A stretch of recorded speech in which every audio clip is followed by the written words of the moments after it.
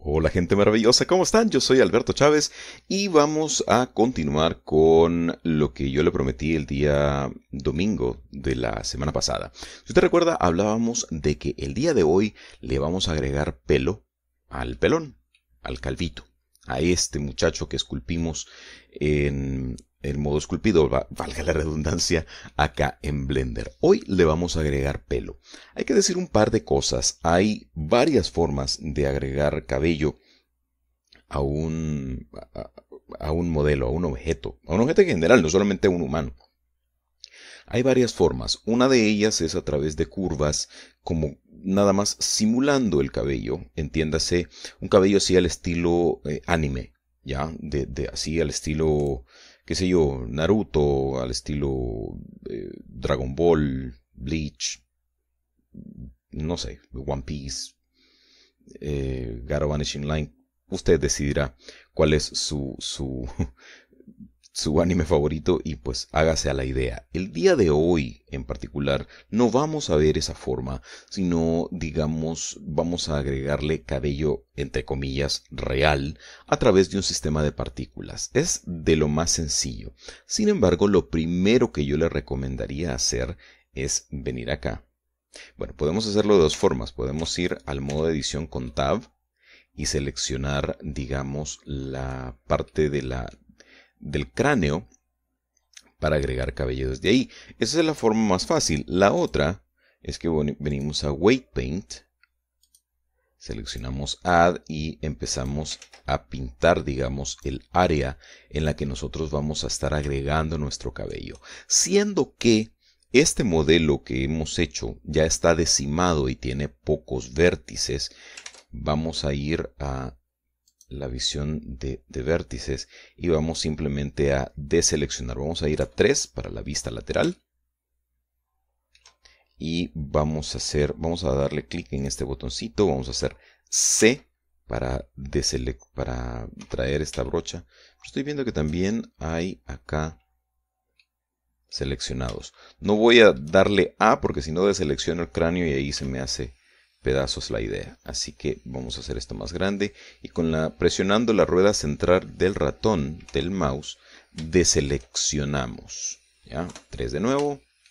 Vamos a ver acá, vamos a acercarnos un poquito. C de nuevo para traer esta especie de brocha y empezamos a deseleccionar las partes en las que no queremos. Repito, las partes en las que no queremos que haya cabello. Esto es fácil, créamelo. Ya después usted se va a hacer estilista, porque esto es pero, hombre. La parte del frente, ahora, aquí vamos a darle clic otra vez en el botoncito, porque si yo empiezo a, a, deseleccionar con C, voy a deseleccionar la parte del frente y la parte de atrás, ¿de acuerdo? C. Y aquí empezamos más o menos hasta por acá. Ahí. Y vamos a hacer acá digamos que ahí, y luego acá, digamos que ahí. Bien, vea. Vamos a ir deseleccionando también de esta parte de acá porque si no va a aparecer hombre lobo. Que, ¿sabe que hay? Sí hay personas que tienen un montón de pelo por todos lados. Que envidia porque yo casi no tengo ya. Vamos a seleccionar un par de, de, vértices aquí solo para hacerle un poquito de, de patilla. no sé cómo se le conoce ahí donde usted, de donde usted es, pero aquí en mi país se le conoce como la patilla, esta parte eh, que, dejamos cerca de la oreja. Le agradecería que me dijera ahí en los comentarios cómo le dicen ahí, donde usted vive. Vamos a ir seleccionando nada más un poquito de, de, estos vértices de alrededor de la oreja. No todos, porque si no se nos echa a perder porque ah, la gran mayoría, bueno, creo que todos, no sé, pero la gran mayoría al menos de nosotros no tenemos eh, cabello, digamos, acá pegado a la oreja, sino que es un, un área bastante despejada de cabello. Así que, pues por eso es que tampoco nos podemos dar el lujo de ir seleccionándolo todo. ¿Sí? Así que simplemente hay que tener un poquito de cuidado. Oiga, aprovecho. Le comento, eh, yo creo que a estas alturas ya habré subido el otro video, pero por si no, he creado una cuenta en otra plataforma de video que se llama Daily Motion.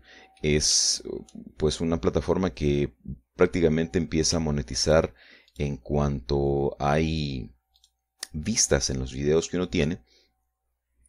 Y pues que si no ha visto el otro video en donde yo le explico cómo está mi, mi situación económica de estos momentos, le agradecería que lo viera y pues si usted tiene a bien colaborarme y no tiene como para suscribirse a mi cuenta de Patreon, créame que entendería si no lo tiene.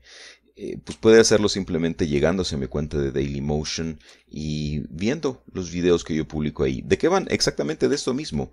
De tutoriales de Blender, de Inkscape, de GIMP, de Krita. Eh, porque, pues eso, eso. Hay que buscarse la forma de ganarse la vida. ¿No le parece?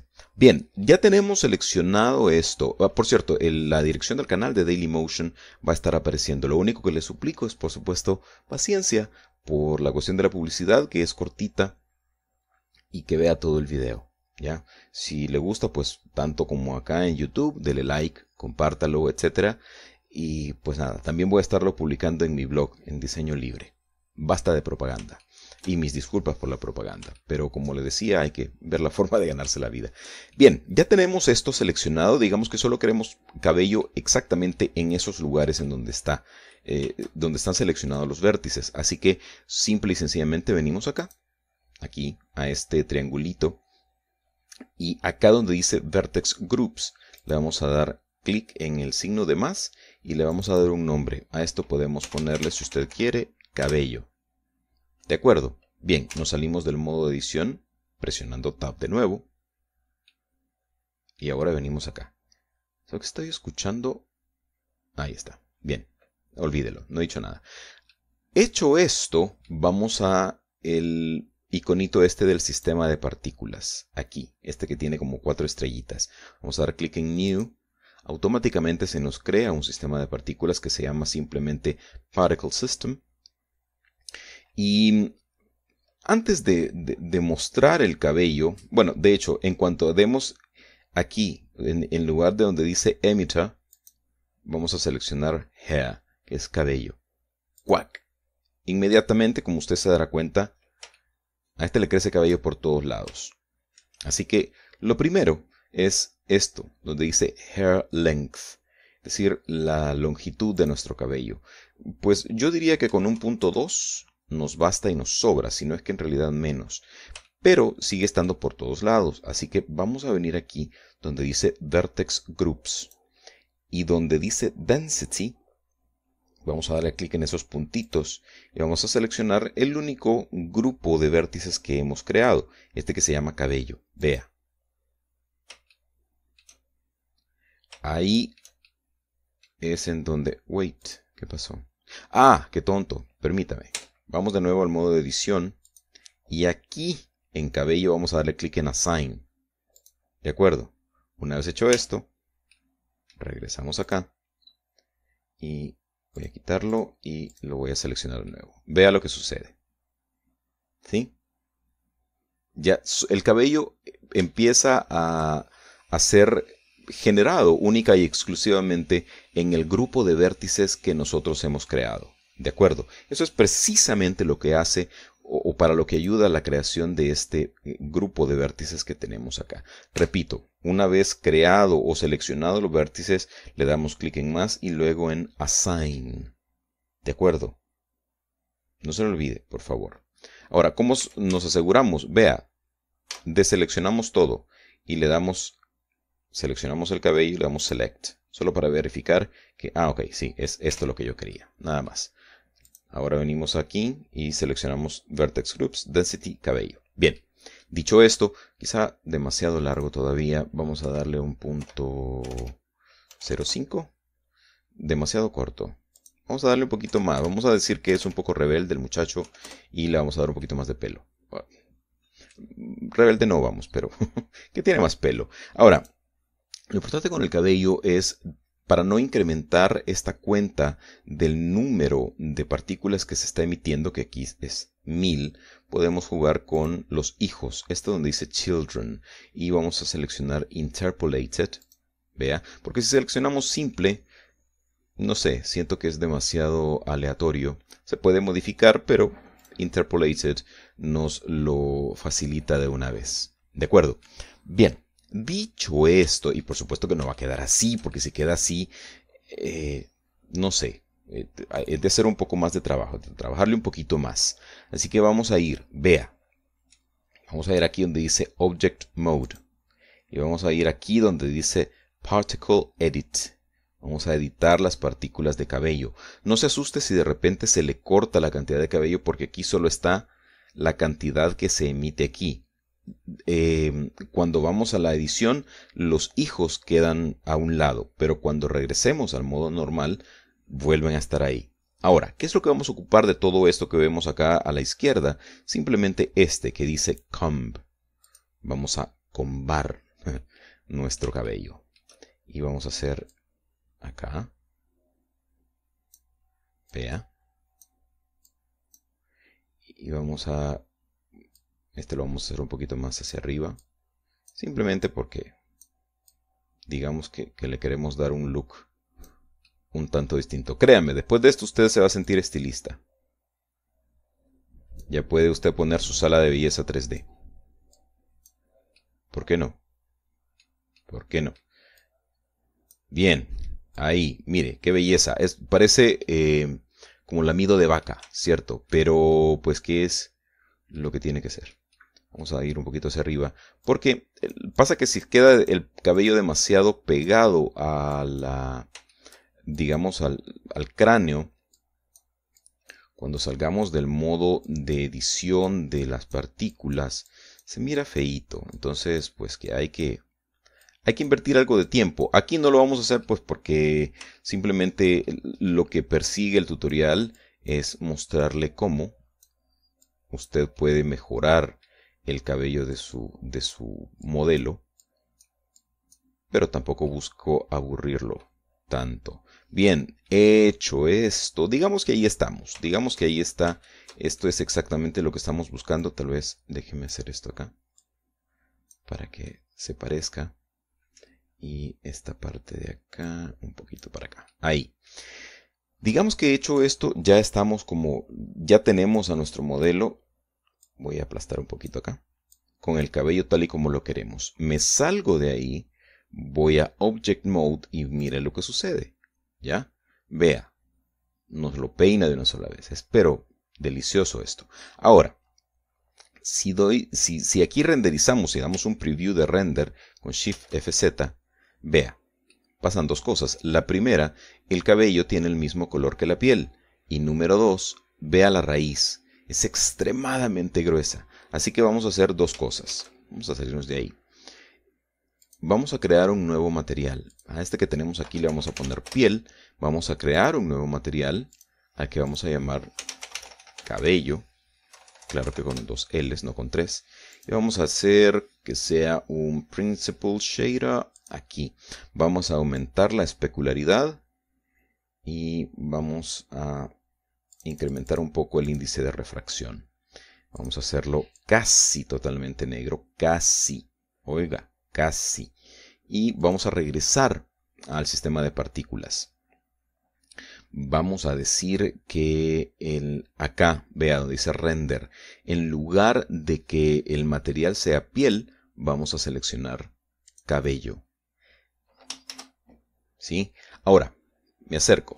Vea, la raíz sigue estando gruesa, así que vamos a ir hasta el final. Aquí donde dice, acá, donde dice Cycles Hair Settings.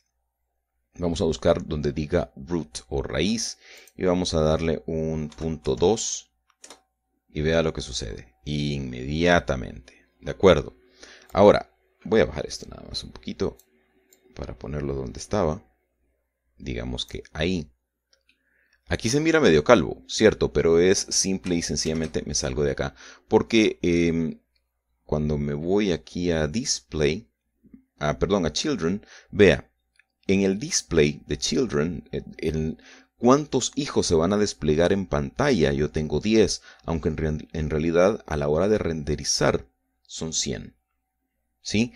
¿A ¿A qué se refiere esto? Vea, traigo mi camarita, me voy a la vista de cámara y quizá, para no hacerme mucho, no complicarme demasiado la existencia, me vengo para acá. Digamos ahí, control alt 0 para traer a la cámara ahí donde está nuestra vista actual. Y voy a subirlo un poquito. Ahí. Vamos a darle F12 para hacer el render respectivo y vea lo que va a suceder. Vea, ya no se mira tan calvo, ¿cierto? Hay mucho más pelo ahí del que mirábamos en el preview. ¿Por qué? Porque en el display eh, es, menor la cantidad. Vea qué maravilloso corte de pelo. No me diga que no, hombre. ¿Quién, quién no se casaría con este fulano? Para hacer el cambio respectivo, si usted no está a gusto, pues puede regresar al sistema de partículas y hacer los cambios respectivos. ¿sí? Mi recomendación, mi recomendación antes de salirse del sistema de partículas, asegúrese, asegúrese de que eh, ha dejado las cosas como están. Porque puede de repente eh, echar a perder un poco los cambios, ¿de acuerdo? Vamos a parar un poquito más este pelo de acá. Simplemente para que se le vea menos, menos extraño. En realidad, pues, el modelo en sí es extraño, hay que admitirlo. La cara es un poco rarosilla. Pero, pues, vamos. Eh, solo demuestra la cosa, ¿no? Eh, esta parte de acá no me gusta como se ve. Así que regresamos. Y vamos a hacerlo un poquito más hacia arriba. Y más o menos ahí, más o menos ahí. ¿No le parece? Veamos, F12. Y pues no hay mucho más que decir al respecto. Si usted eh, quiere intentarlo a través de curvas, pues dígame en los comentarios y yo hago un tutorial también, eh, un video de cómo podemos simular el cabello no con un sistema de partículas, sino que con curvas y pues todos felices y contentos, ¿no le parece? Pero si no, pues esta es la forma de hacerlo a través del sistema de partículas de cabello específicamente. ¿De acuerdo? Espero que esto le haya sido de utilidad. Recuerde que eh, pues si usted me quiere seguir en las redes sociales, las direcciones están apareciendo aquí a lo largo de todo el video. También le recuerdo, tengo una cuenta de Dailymotion en donde usted pues con solo llegar y ver los videos que estoy publicando ahí me está ayudando económicamente. Eh, los primeros videos, bueno, los videos que voy a estar publicando son videos introductorios de todos estos programas que utilizamos. Entiéndase introducción a Blender, introducción a Inkscape, a GIMP, a Krita. Así que, pues nada, si usted eh, está buscando videos introductorios, váyase a mi cuenta de Dailymotion. Si no, pero si no está buscando videos introductorios, pero quiere ayudarme económicamente hablando, aunque sea de forma indirecta, pues igual, lléguese y dele un vistazo a esos videos. No le digo más, damas y caballeros. También, si se quiere convertir en mi benefactor en Patreon, si usted tiene cómo eh, convertirse en mi benefactor en Patreon, pues también la cuenta está, la dirección de la cuenta está al inicio del video y también al final, en donde ya agradezco infinitamente a las personas que ya son mis benefactores. No le digo más, nos vemos la próxima semana. Hasta entonces, y como siempre, larga vida al software libre.